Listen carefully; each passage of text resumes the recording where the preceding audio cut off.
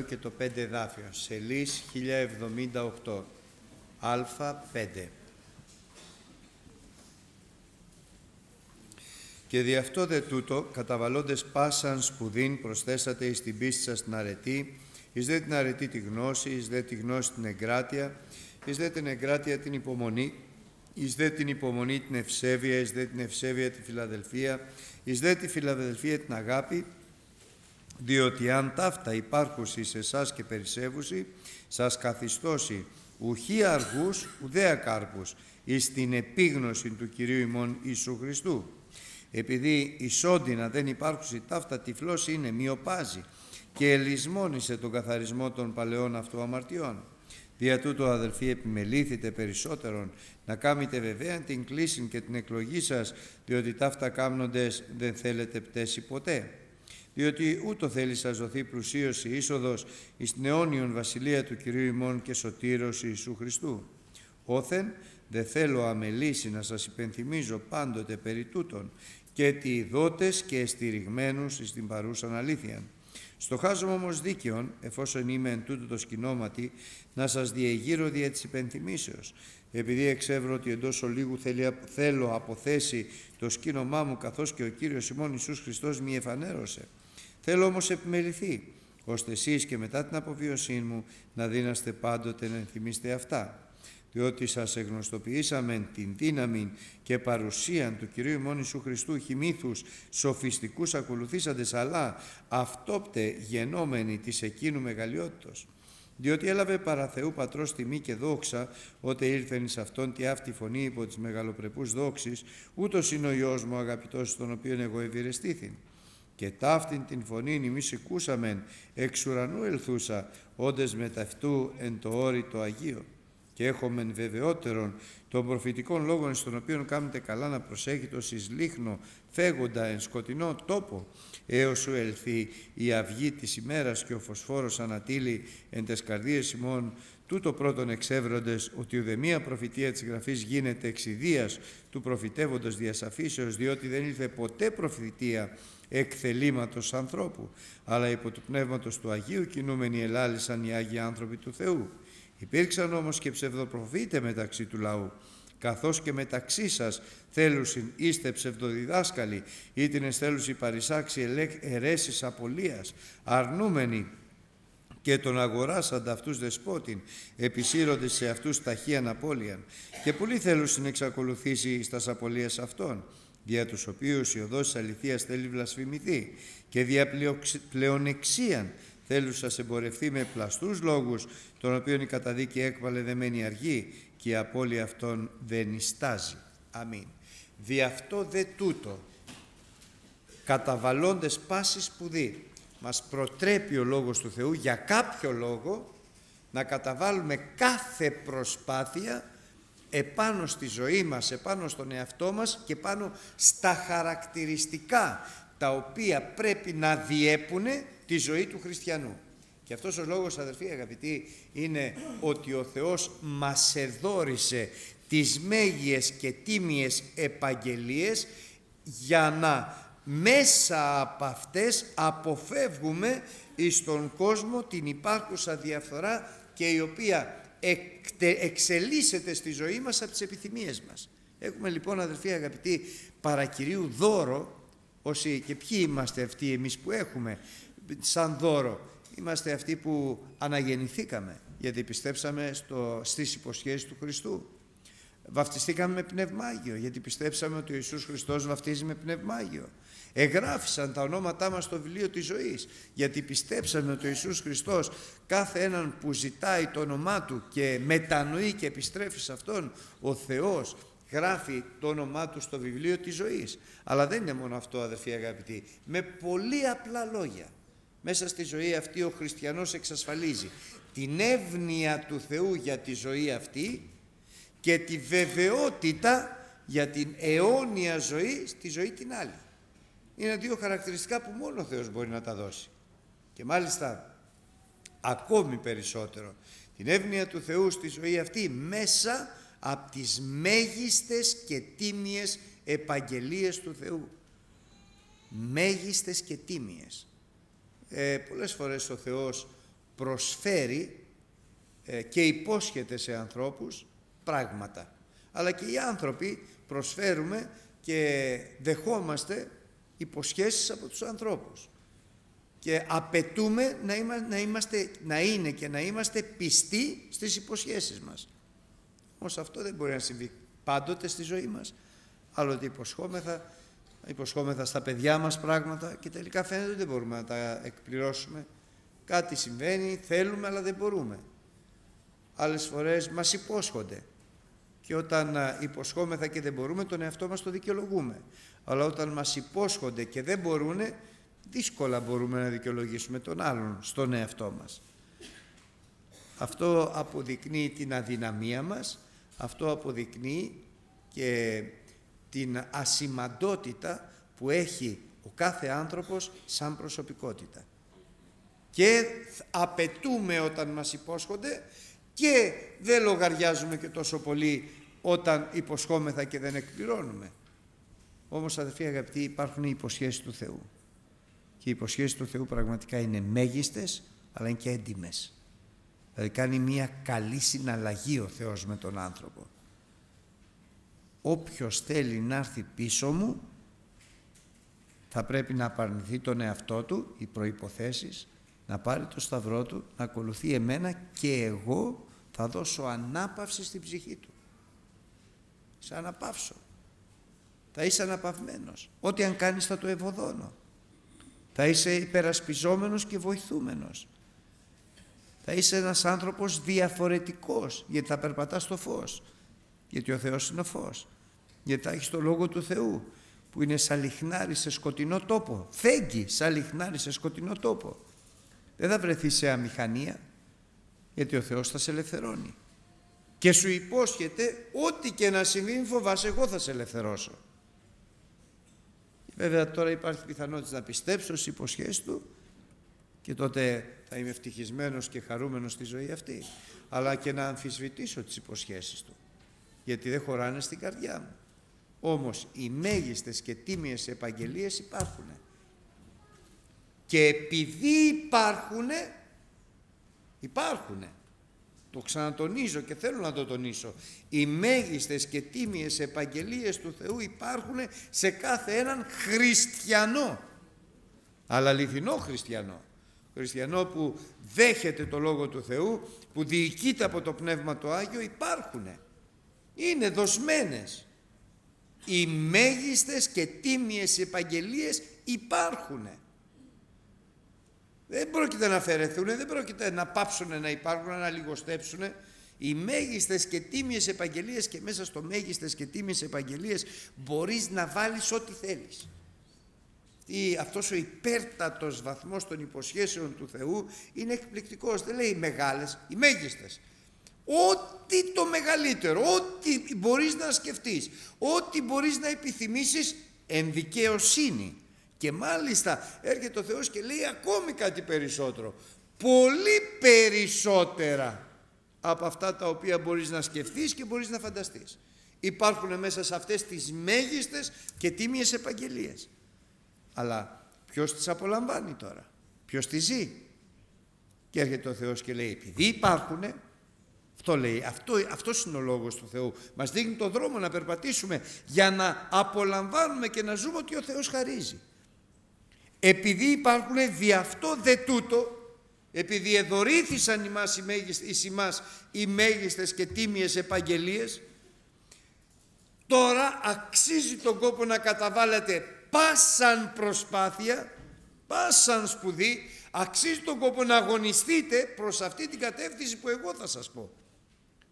Για να είναι μέσα στη ζωή σας οι υπάρχουσες μέγιστες και τίμιες επαγγελίες μία πραγματικότης. Αδελφοί αγαπητοί, η ζωή του χριστιανού είναι ευλογημένη. Και για να καταλάβουμε και θέλω με τη χάρη του Χριστού σήμερα να καταλάβουμε τι σημαίνει ευλογημένη. Γιατί έχουμε μπροστά μας μια ζωή.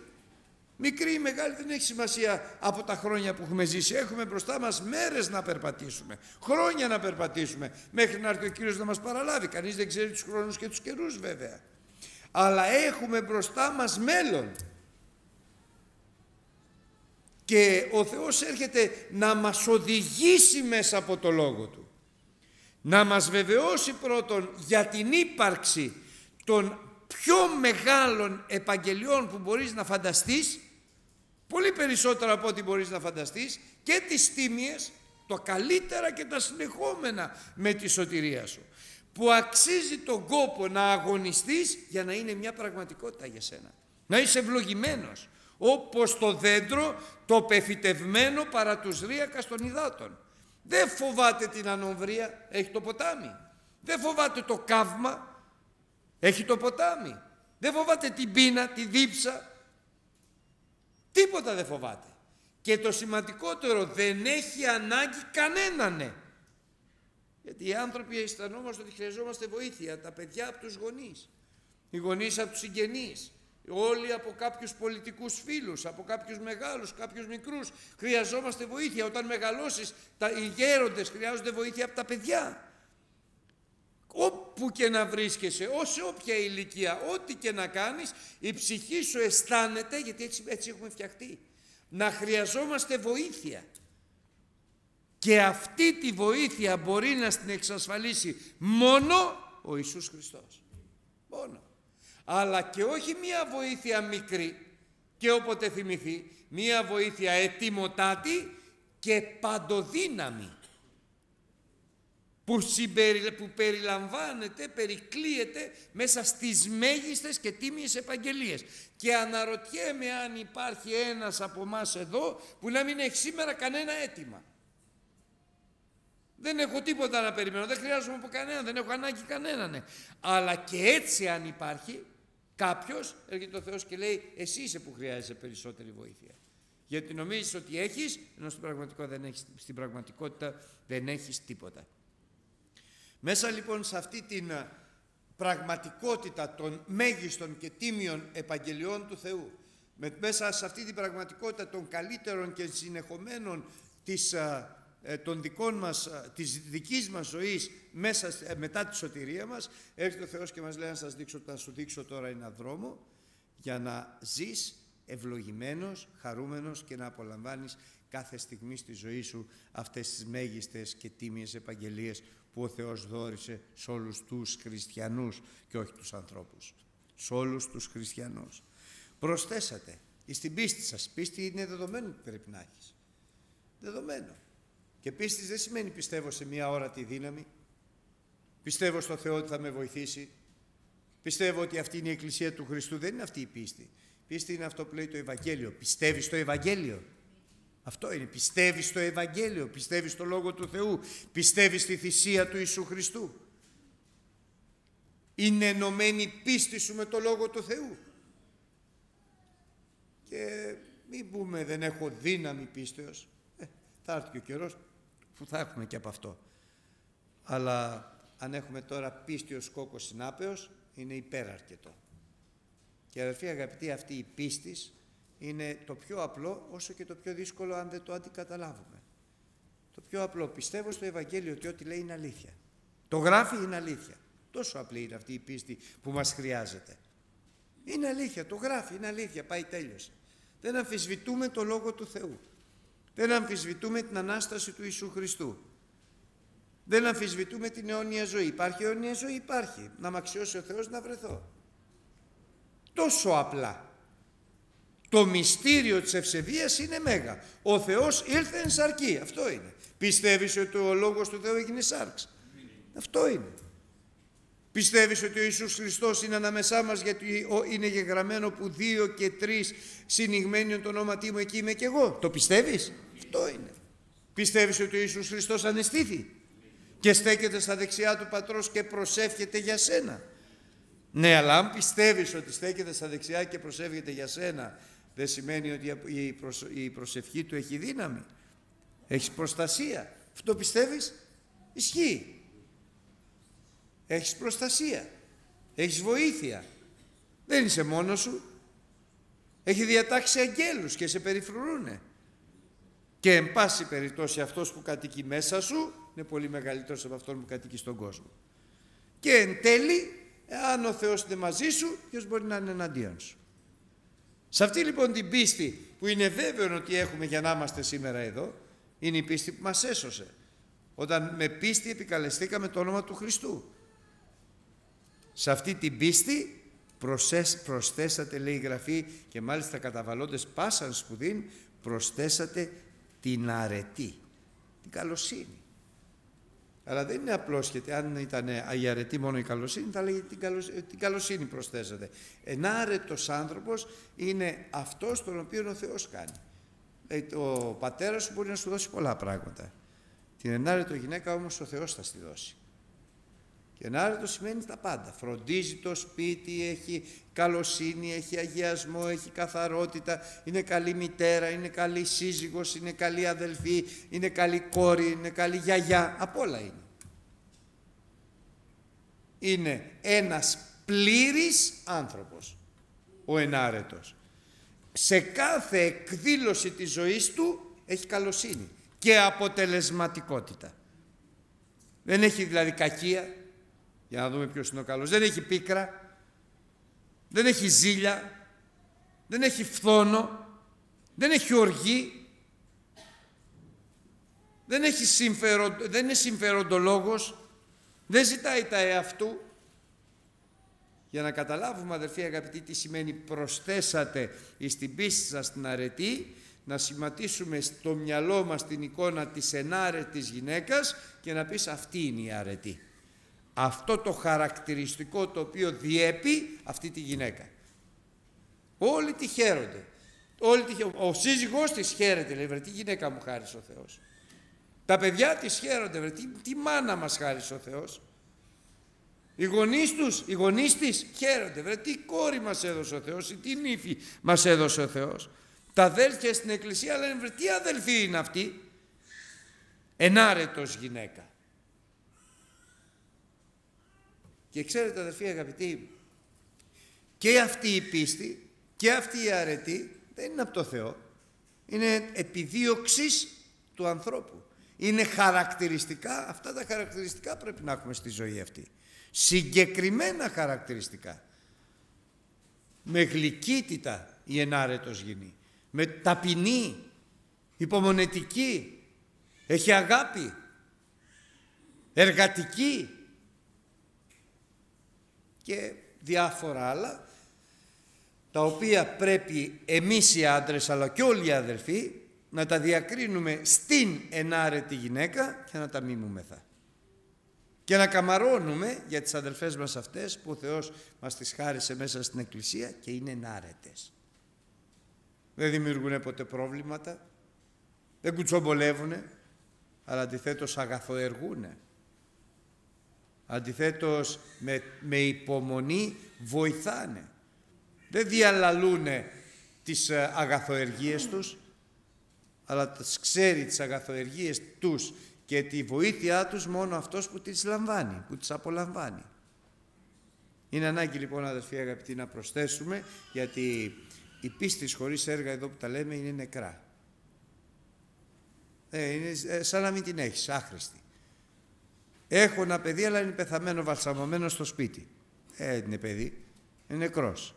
Έχω πίστη αλλά δεν έχει αποτελέσμα, δεν είναι νεκρά. Το πρώτο χαρακτηριστικό της πίστης λοιπόν πρέπει να έχει αρετή. Να έχει έργα. Έργα πίστεως, έργα αγάπης. Να προσθέτουμε λοιπόν και αδελφοί αγαπητοί το τονίζω αυτό ότι είναι δική μας δουλειά να προσθέτουμε στην πίστη μας την αρετή να διορθωνόμαστε, να βλέπουμε τι είναι αυτό που δεν είναι καλό και να το φτιάχνουμε. Τι είναι αυτό που είναι καλό και να το αυξάνουμε. Να προσθέτουμε λοιπόν στην πίστη μας την αρετή. Στην αρετή δεν να προσθέτουμε τη γνώση. Ε, πρέπει να γνωρίζουμε τώρα, όχι να κουτσομπολεύουμε και να γνωρίζουμε. Γνωρίζουμε το θέλημα του Θεού, το αγαθόν, το ευάρεστον και το τέλειο. Τι θέλει ο Θεός; Τι θέλει ο Θεός για μένα, τι θέλει ο Θεός για σένα; Σκεφτείτε αδερφοί αγαπητοί μία γυναίκα ηλικιωμένη που να μην ξέρει τι να συμβουλεύσει τα παιδιά της, την εγγονή της, τις μικρότερες αδερφές. Ε, δεν ξέρει τι λέει ο Λόγος του Θεού. Άχρηστη είναι. Η γραία λέει πρέπει να είναι καλή σύμβουλη. Αλλά για να γίνεις καλός σύμβουλος πρέπει να έχεις γνώση του Ευαγγελίου. Δεν λέω να το μάθεις απ' έξω. Δεν μαθαίνετε. Αλλά ούτε και να το προσπαθήσεις. Λέω να ξέρεις το θέλημα του Θεού. Και το θέλημα του Θεού, αδερφοί αγαπητοί, αποκαλύπτεται στον προσευχόμενο, στον εξητούντα, σε αυτόν που προσέχει τη διδαχή, το, το Λόγο του Θεού, τη διδαχή των Αποστόλων, σε αυτόν που διοικείται από το Πνεύμα το Άγιο, σε αυτόν που δεν έχει γνώμη, αλλά περιμένει να γνωρίσει τη γνώμη του Θεού.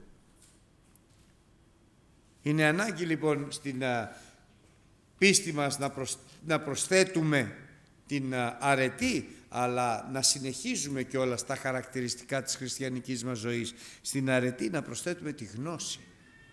Και σε αυτό πάλι θέλω να επιμείνω λίγο γιατί είναι πάρα πολύ σοβαρό να έχουμε επίγνωση του θελήματος του Θεού. Ξέρουμε τι θέλει ο Θεός. Τι θέλει ο Θεός από μένα. Είμαι οικογενειάρχης, είμαι πατέρας, είμαι παππούς. Τι θέλει ο Θεός από μένα. Και να κάνω αυτό που ξέρω ότι θέλει ο Θεός από μένα και ε, σε γενικότητες αλλά και σε ειδικές καταστάσεις αλλά και σε λεπτομέρειες ακόμη. Που σημαίνει αδερφοί αγαπητοί ότι γενικά ξέρουμε τι θέλει ο Θεός να κάνει ο καθένας μας μέσα από το Ευαγγέλιο του Χριστού. Αλλά και ειδικότερα πρέπει να ξέρουμε τι πρέπει να κάνουμε. Και ειδικότερα. Και για να το ξέρουμε χρειαζόμαστε την αποκάλυψη του Θεού Χρειαζόμαστε την οδηγία του Πνεύματος του Αγίου και την φανέρωση του Πνεύματος του Αγίου. Γιατί μόνο το Πνεύμα το Άγιο θα μας οδηγήσει σπάσαν την αλήθεια. Πρέπει να ξέρω τι πρέπει να κάνω σαν πατέρα στο σπίτι μου. Πρέπει να ξέρω τι πρέπει να κάνω σαν καλός αδελφός στην Εκκλησία. Πρέπει να ξέρω ποιο είναι το θέλημα του Θεού σαν πρεσβύτερο στην Εκκλησία. Πρέπει να το ξέρω. Πρέπει να ξέρω τι πρέπει να κάνω σε αυτόν τον αδελφό που θλίβεται που αγωνιά. Γιατί για σκεφτείτε αδερφοί αγαπητοί, να χρειάζεται ένας άνθρωπος κάτι για το στομάχι του και εμείς να του δώσουμε ασπιρίνη. Τον διαλύσουμε. Να χρειάζεται παρηγοριά και εμείς να τον ελέγχουμε. Είναι πολύ σοβαρά αυτή η γνώση. Να χρειάζεται έλεγχο και εμείς να του λέμε δεν πειράζει προχώρα. Καταστρέφουμε τους ανθρώπους. Και για να το καταλάβουμε πιο πολύ καταστρέφουμε τα παιδιά μας. Αντί να του πούμε, έλα εδώ τώρα δεν έπρεπε να το κάνεις αυτό να τον ελέγξουμε, να του πούμε, δεν πειράζει, δεν πειράζει. Το καταστρέψαμε. Ή αντίστροφα. Όταν θέλει ενίσχυση και παρηγοριά, βρε παιδάκι μου, μη στενοχωριέσαι, εμένα δεν τρέπεις να σου του ρίχνουμε και μια, τον βουλιάζουμε. Πρέπει να ξέρεις, αδελφοί, τι πρέπει να λες στα παιδιά σου. Πώς πρέπει να συμπεριφέρεσαι. Δεν φτάνει να είσαι καλός άνθρωπος. Γιατί καλός άνθρωπος, καλός χριστιανός, ενάρετος χριστιανός, εργατικός χριστιανός μπορεί να είμαι. Αλλά ξέρω τι θα πω. Ξέρω τι δεν θα πω.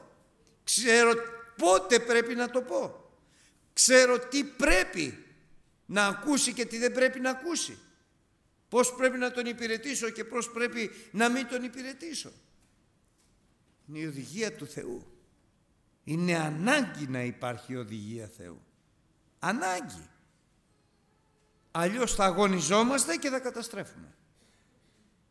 Ενώ ο Θεός θέλει να αγωνιζόμαστε και να οικοδομούμε.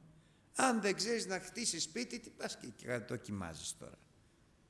Χτίσω ένα σπίτι. Μα το σπίτι θέλει σχέδια, θέλει... Όχι, το χτίσω όπως θέλω εγώ. Θα πέσει βρε. Θα πέσει. Κανένας δεν παίρνει στη δούλεψή του άνθρωπου που δεν ξέρει τη δουλειά του. Τι να τον κάνει. Έλα να πουλάς, μα δεν ξέρει να πουλήσει. Αγριεύει στους πελάτες, φωνάζει στους πελάτες. Τον κρατήσει μια μέρα, τον διώξει. Δεν είναι απλή η λέξη γνώσης. Εγώ σε θέλω να πουλάς, δεν θέλω να διώχνεις τους πελάτες. Δεν είναι απλή η λέξη γνώση γιατρού. Δεν έχει καμία εμπειρία. Δεν ξέρει να κάνει διάγνωση. Και μπορεί να ξέρει να κάνει διάγνωση, δεν ξέρει να δίνει φάρμακα. Μα είναι πολύ καλός άνθρωπος. Τι να το κάνω; Είναι άρετος άνθρωπος, είναι καλός οικογενειά, βρε γιατρός είναι. Καλός οικογενειάρχης μπορεί να είναι. Καλός χριστιανός μπορεί να είναι. Καλός γιατρός είναι. Ε, είναι λέει γιατρός που σπούδασε πριν 30 χρόνια και δεν έχει συνεχίσει να διαβάζει. Και για την Ελληνοσία δίνει κινήνο. Ναι, αλλά έχουν βγει τόσα φάρμακα. Δεν δώσουμε τα φάρμακα που δίναμε 30 χρόνια πριν. Μα ήταν πολύ καλά. Μα για τότε τώρα έχουν βγει πολύ καλύτερα. Ο χριστιανός πρέπει να έχει γνώση για να μπορεί να είναι χρήσιμος στο Θεό, στον συνάδελφό του, στον συνάνθρωπό του και στον εαυτό του. Και πρέπει να προσθέτει γνώση. Και δεν μιλάω γνώση τώρα φυσική και ανθρώπινη, τώρα μιλάω γνώση πνευματική. Εάν λέει ζούμε κατά το πνεύμα πρέπει να περπατούμε και κατά το πνεύμα. Το τρίτο λοιπόν χαρακτηριστικό του χριστιανού είναι να έχει γνώση των πραγμάτων. Αλλά επόμενο χαρακτηριστικό του ανθρώπου να έχεις γνώση και στη γνώση πρέπει να αγωνιστείς να προσθέσεις εγκράτεια. Ξέρεις τι να κάνεις αλλά δεν μπορείς. Ξέρω ότι πρέπει να κάνω δίαιτα αλλά δεν μπορώ να κάνω δίαιτα. Ε, είναι άχρηστο.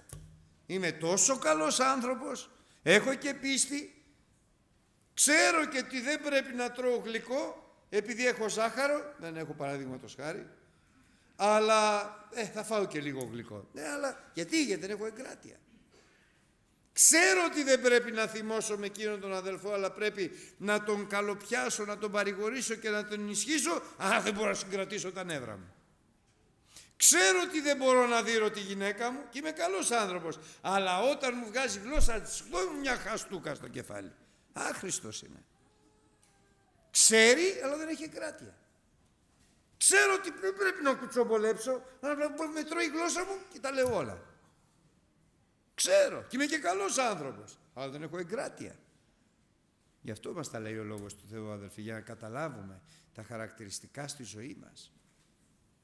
Στην εγκράτεια μετά πρέπει να προσθέσουμε υπομονή. Έχω εγκράτεια, αλλά δεν μπορώ να περιμένω.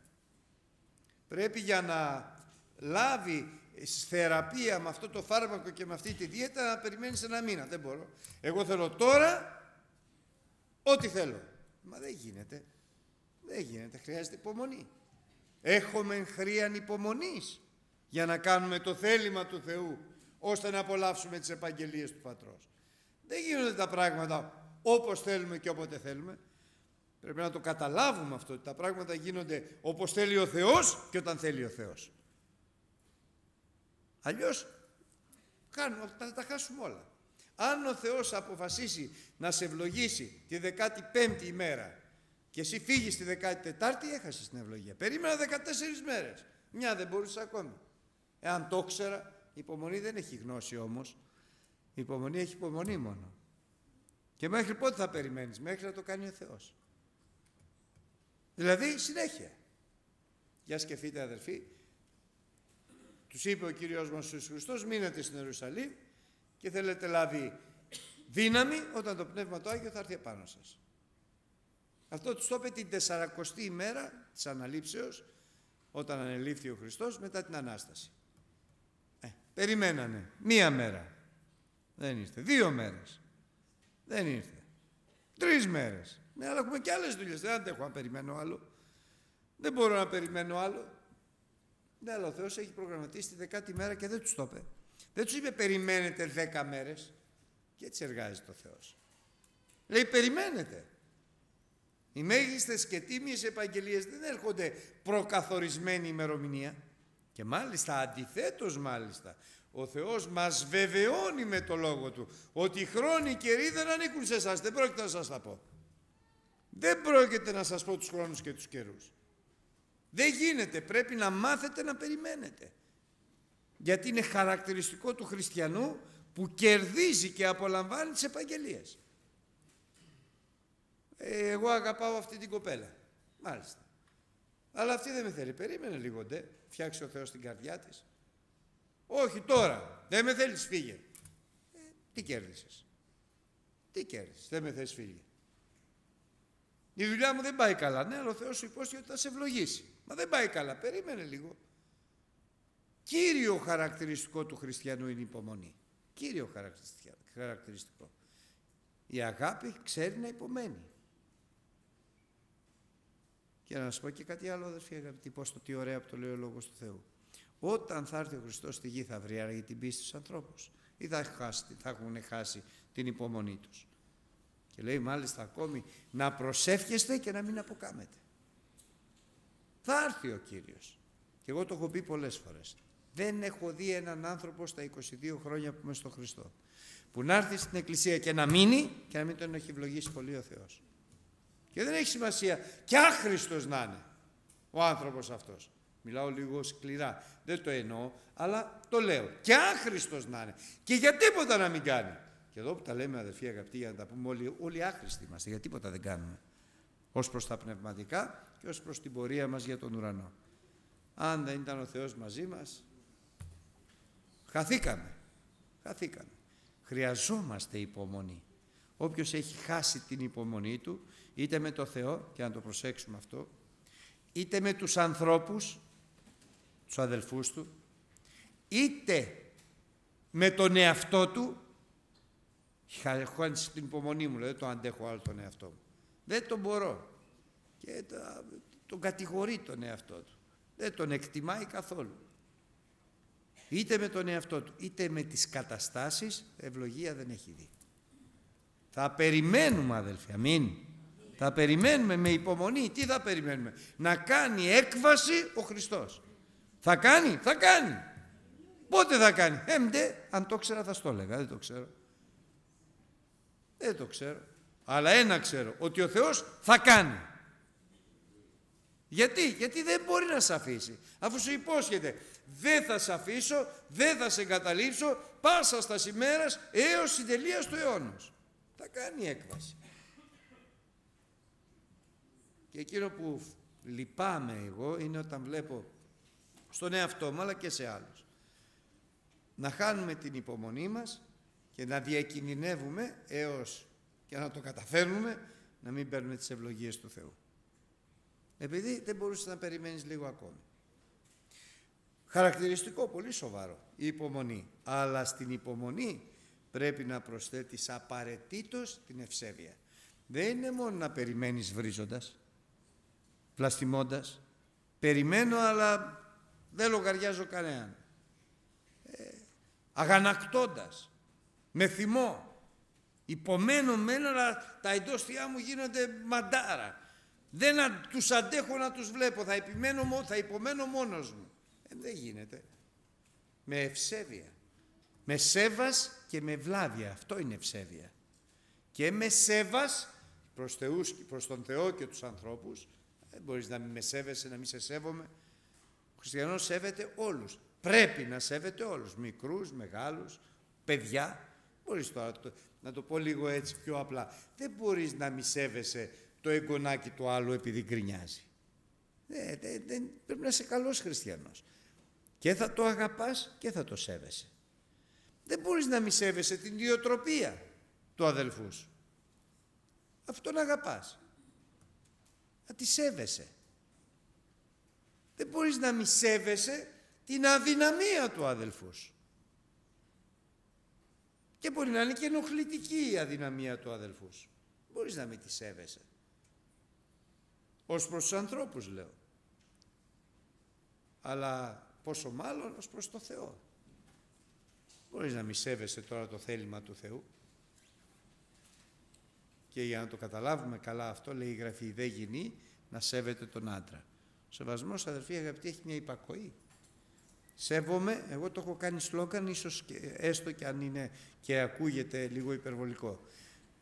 Σλόγκαν και στην οικογένειά μου και στην εκκλησία. Εγώ δεν χαλάω σε κανένα χατήρι. Εν κυρίω. Μόνο στην αμαρτία. Δεν θα χαλάσω χατήρι. Αρκεί να μπορώ βέβαια έτσι. Ξέρετε αρέσει στο Θεό αυτό. Και ο πρώτος που μας το δίδαξε είναι ο Χριστός. Δεν λέει αιτείτε ό,τι θέλω εγώ. Αιτείτε και θέλετε λαμβάνει για να είναι πλήρης η χαρά σας. Δεν χαλάω χατήρι. Έχω αδικηθεί, δεν έχω αδικηθεί. Έχω ευλογηθεί γι' αυτό. Όταν όμως είσαι σκληρός και απαιτείς, τότε θα δικηθείς.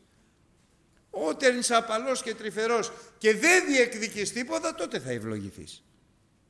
Σέβεσαι τον άλλον. Σέβεσαι το Θεό. Αλλά και ευλάβεια. Δια την ευλάβεια αυτού, λέει ο Λόγος του Θεού, για ποιον, για τον Ιησού Χριστό, εισηκούστη από τον Πατέρα του τον ουράνιο. Δια την ευλάβεια αυτού, ποιος, ο Λόγος του Θεού. Ο άνθρωπος Χριστός Ιησούς. Δεν εισηκούστη επειδή είναι Υιός Θεού, αλλά επειδή ήταν ευλαβής, ευλαβούμενος στο όνομα του Κυρίου. Αν θέλεις να ευαρεστείτε ο Θεός σε σένα, να είσαι και σεβαστικός σε θεούς και ανθρώπους και ευλαβούμενος. Και ποια είναι η διαφορά; Το ευλαβούμενος έχει το θρησκευτικό συνέστημα μέσα ή τη θρησκευτική έννοια. Ευλαβούμενος τον Κύριο. Με ευλάβεια ακούω το Λόγο του Θεού. Με, με σεβασμό ακούω τη γνώμη σου. Μου βλακίες λες. Ε, δεν είναι αυτός σεβασμός. Μπορείς να λες τον αδερφό σου ότι λέει βλακίες. Ούτε να το σκέφτεσαι. Για πρόσεξε μήπως μέσα από αυτόν σου μιλάει ο Θεός και δεν το έχεις καταλάβει.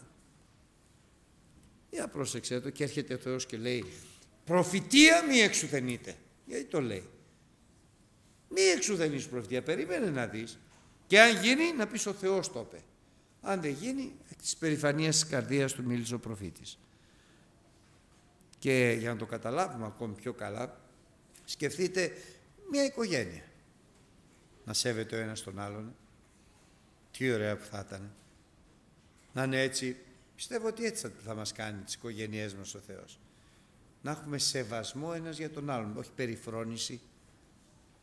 Όχι κοροϊδία, όχι ονειδισμό. Άστον αυτό είναι βλάκας, δεν καταλαβαίνει. Για πες μου εσύ που είσαι έξυπνος, γιατί ο Θεός του έχει δώσει λίγη ικανότητα. Περισσότερο. Και ο άλλος δεν έχει την ίδια αντίληψη.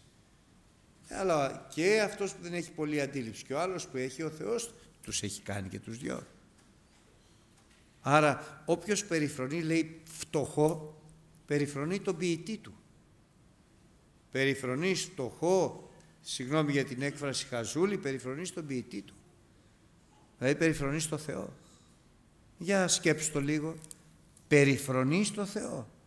Σ' αρέσει; Πει δεν παρατάς, συγχώρεσαι με Θεό μου. Φοβερή κουβέντα. Ενώ μπορείς να την πεις πάρα πολύ εύκολα στον ελάχιστο. Δεν με παρατάει και αυτός που με θέλει στο τηλέφωνο. Τι θέλει τώρα; Για τώρα βγάλε αυτόν που σε παίρνει στο τηλέφωνο και, βγάλε, και βάλε το Χριστό. Και σκέψω ότι είναι το ίδιο. Αυτά που λες στο νεαρό, στο μικρό, στο φτωχό, στο χαζούλι, στην πραγματικότητα το λες στον ποιητή του. Να δεις πώς θα σε πιάσει φόβος. Αλλά και αν δεν σε πιάσει φόβος, ευαρεστείτε ο Θεός. Μπορεί να ευαρεστηθεί ο Θεός σε σένα. Γι' αυτό αδερφοί αγαπητοί είναι ανάγκη η ευσέβεια. Και τέλος, η τελειότηση, η σφραγίδα της τελειοποίησης του ανθρώπου, η φιλαδελφία. Η αγάπη προς τον αδελφό. Είναι η εντολή του Χριστού, η καινούργια εντολή. Αγαπάτε αλλήλους καθώς εγώ σας αγάπησα. Μπορεί τώρα να λες ότι θα πας στον ουρανό και δεν αγαπάς τον αδελφό σου. Λέω αν τον μισείς. Αν τον μισείς είσαι αδελφοκτόνος. Αλλά κι αν δεν τον αγαπάς, εφόσον δεν έχεις μέσα σου, έτσι λέει η Γραφή. Η αλήθεια δεν είναι μέσα σου και αν το προσέξουμε αδελφοί. Τώρα θα το πω λίγο προσωπικά, αλλά δεν ισχύει. Εάν δεν δε μ' αγαπάς, δεν πας στον ουρανό. Δεν πας. Εάν δεν σ' αγαπάω, δεν πάω στον ουρανό. Δεν λέω να, σε, να μη σε χωνεύω. Δεν λέω να σε μισώ. Μη γέννητο. Εάν δεν ακολουθώ την εντολή του Χριστού αγαπάτε αλλήλους καθώς εγώ σας αγάπησα, ουρανό δεν βλέπω. Δεν είναι φοβερό. Και μπορεί να τους αγαπάς όλους εκτός από εκείνον εκεί στη γωνία. Ε, αυτό στη γωνία μοιάζει με τον Λάζαρο. Και εσύ μοιάζεις με τον πλούσιο. Λάζαρος ο φτωχός στη γωνία καθότανε. Και δεν είχε να φάει και εσύ δεν τον αγάπαγες. Για να καταλάβεις αν τον αγαπάς προσευχή σου γι' αυτό να δεις πώς θα προσευχηθείς. Μην σε κοροϊδέψει η καρδιά σου ότι τον αγαπάς. Και πες δεν έχω τίποτα μαζί του, δεν είναι ότι δεν τον χωνεύω, αλλά δεν θέλω να βλέπω τη φάτσα του.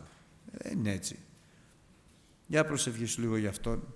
Πες του Χριστέ μου αυτόν εκεί κάτω που η καρδιά μου τον έχει εξουθενήσει, που η καρδιά μου τον έχει περιφρονήσει, εσύ όμως τον αγαπάς και έστειλε στον Ιησού Χριστό να πεθάνει για αυτόν. Ναι.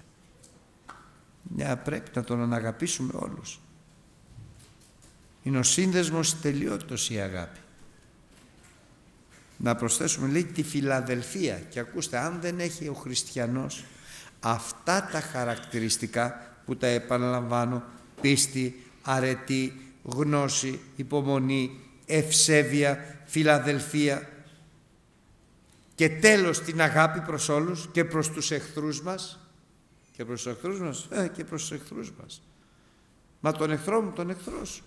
Με αυτόν που μονιδίζει, αυτόν που σονιδίζει.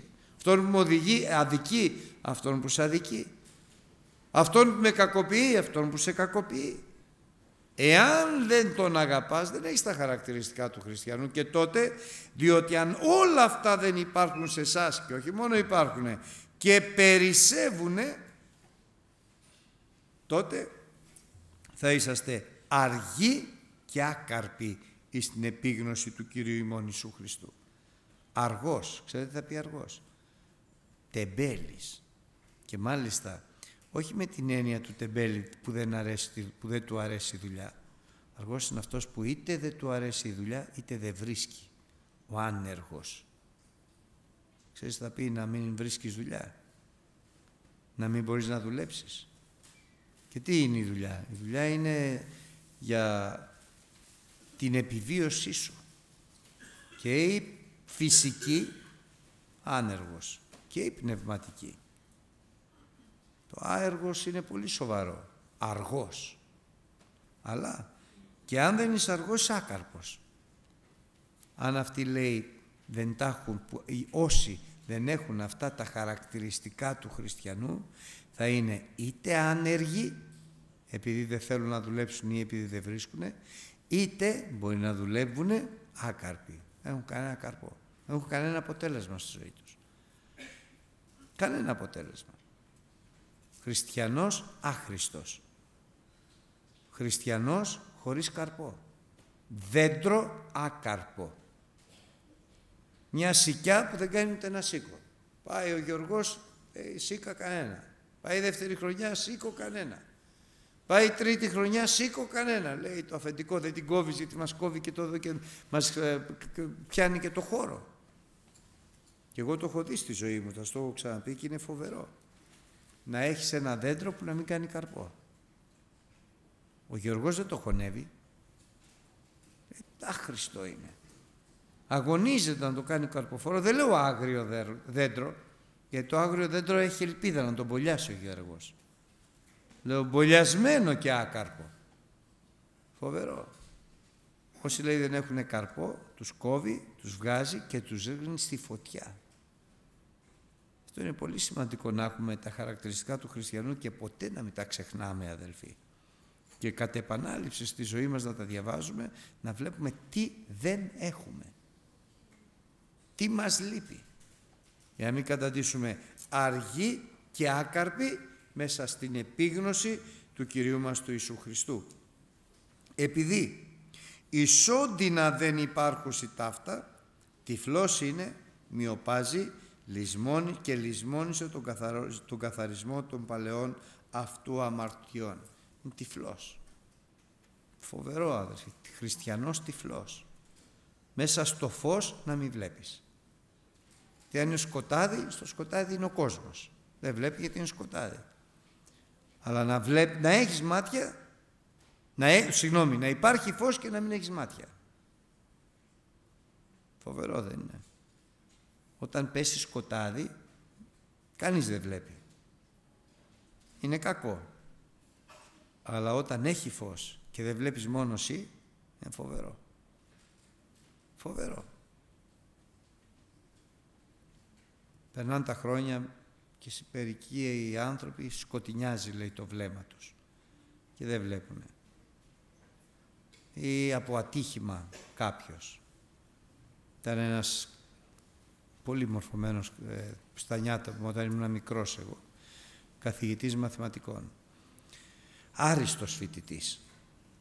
Ε, συγγνώμη, δεν τέλειωσε το πανεπιστήμιο. Ήταν στο πανεπιστήμιο άριστος φοιτητής, το θυμάμαι και πόσο μου έκανε εντύπωση πόσο λυπόμουν. Άριστος φοιτητής. Είχε μπει με υποτροφία στο Πανεπιστήμιο Μαθηματικός. Έκανε, ήταν, είχε τρομακτικές επιδόσεις και ο πατέρας τους έκτισε το σπίτι.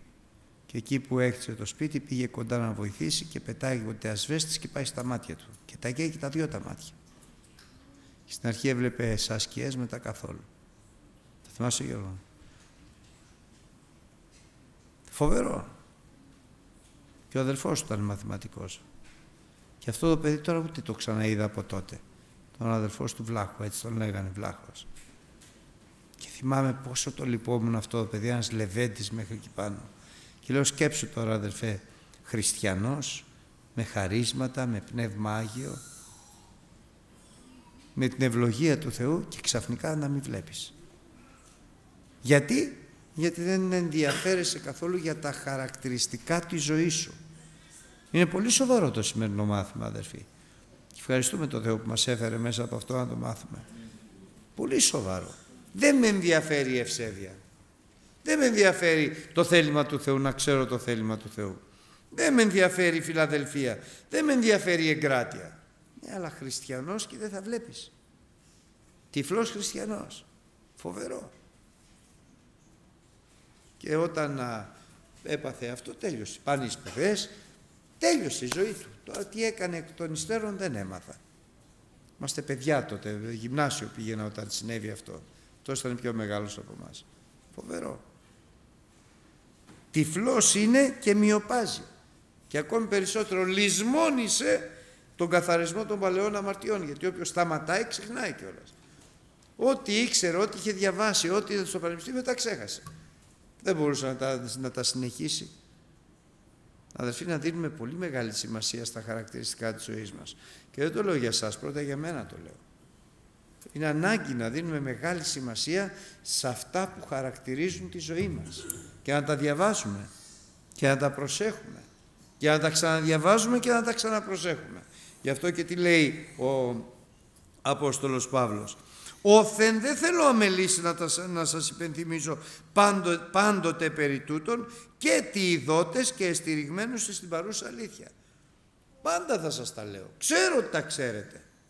Αλλά πάντα θα σας τα λέω και θα σας επενθυμίζω. Γιατί εάν επιμεληθείτε περισσότερον για, την, για τα χαρακτηριστικά της χριστιανικής σας ζωής, τότε θα κάνετε βεβαίαν την κλίση σας και την εκλογή σας και θα σας δοθεί, προσέξτε τη λέξη, θα σας δοθεί, όχι εσείς θα το κερδίσετε αυτό, θα σας δοθεί πλουσίως η είσοδος εις την αιώνια βασιλεία του Κυρίου ημών Ιησού Χριστού και σωτήρος Ιησού Χριστού. Σας δοθεί πλουσίως η είσοδος. Εάν με επιμέλεια φροντίζετε, εξετάζετε τα χαρακτηριστικά της χριστιανικής σας ζωής. Και εγώ, λέει ο Απόστολος Πέτρος, θα, σας, θα αγωνίζομαι πάντοτε να σας τα υπενθυμίσω. Αλλά και θα με ρημνήσω και όταν θα φύγω, γιατί μου φανέρωσε ο Κύριος ότι θα φύγω και θα έρθει να με πάρει για τον ουρανό, θα με ρημνήσω αφήνοντάς σας το λόγο μου, πάντοτε να τα θυμάστε. Και τώρα δεν είναι εδώ ο Απόστολος Πέτρος να μας τα πει, αλλά με ρήμνησε, όχι ο Απόστολος Πέτρος, ο Κύριος, να έχουμε στα χέρια μας σήμερα αυτή την επιστολή του Αποστόλου Πέτρου που έγραψε τότε το 66 μετά Χριστό, να την έχουμε εμείς σήμερα να την ακούμε, να την κηρύττουμε, να την πιστεύουμε, να ξεσηκώνεται και να αγωνιά η καρδιά μας και μην μου πείτε ότι δεν αγωνιά η καρδιά, στη δικιά μου αγωνιά.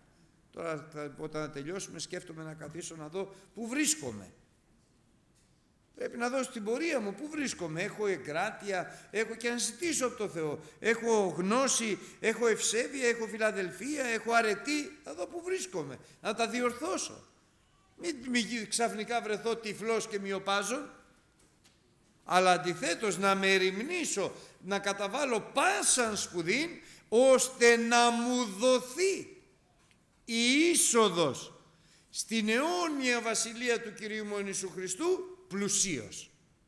Να μου δοθεί να μπορέσω να εισέλθω όχι με τη δική μου ικανότητα, αλλά ο Χριστός να μου δώσει χάρη, να κάνει χάρη στη ζωή μου και να εισέλθω πλουσίως δια των πυλώνων στη Βασιλεία των Ουρανών με την αρπαγή της Εκκλησίας. Δηλαδή, όχι άκαρπος και αργός, αλλά εργαζόμενος και με πολύ καρπό να εισέλθω στη Βασιλεία των Ουρανών. Και εργαζόμενος, αλλά και εργαζόμενος αποτελεσματικά, ώστε να εισέλθω πλουσίως στη Βασιλεία των Ουρανών. Αδερφοί αγαπητοί, το σημερινό μάθημα είναι χάρη Θεού. Έτσι λέει ο Απόστολος Πέτρος. Θα επιμεληθώ Αυτά που σας υπενθυμίζω τότε το 66 μετά Χριστό, πάντοτε να τα ακούτε. Και έκανε χάρη και σε εμάς ο Χριστός σήμερα και τα ακούσαμε. Γιατί έκανε χάρη, γιατί ήρθαμε στην Εκκλησία, γιατί κάναμε αυτό το, την επιστολή, γιατί θα μπορούσαμε να είμαστε άρρωστοι, θα μπορούσαμε να είμαστε κάπου αλλού. Χάρη από το Θεό είναι σήμερα που ακούσαμε το λόγο αυτό, τον οποίο επιμελήθηκε ο Χριστός και ο Απόστολος Πέτρος με τις προσευχές του τότε να φτάσει μέχρι εμάς σήμερα. Δυο χιλιάδες χρόνια μετά. Δεν είναι χάρη Θεού.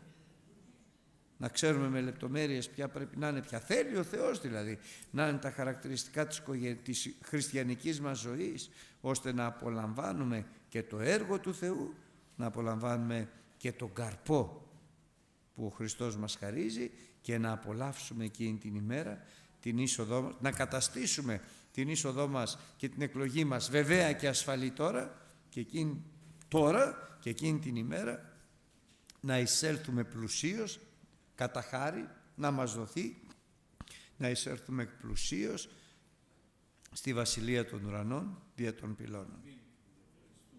Ευχαριστούμε το Θεό. Αδερφοί αγαπητοί, ο Λόγος του Θεού είναι μεγάλο θαύμα και θέλουμε πάντοτε να τον απολαμβάνουμε. Αλλά μια φορά ακόμη να θυμηθούμε ουχή ακροατές, έστω και με χαρά, όμως επιλύσμονες, αλλά είτε με χαρά είτε με τη λύπη, εκτελεστές έργου. Αμήν.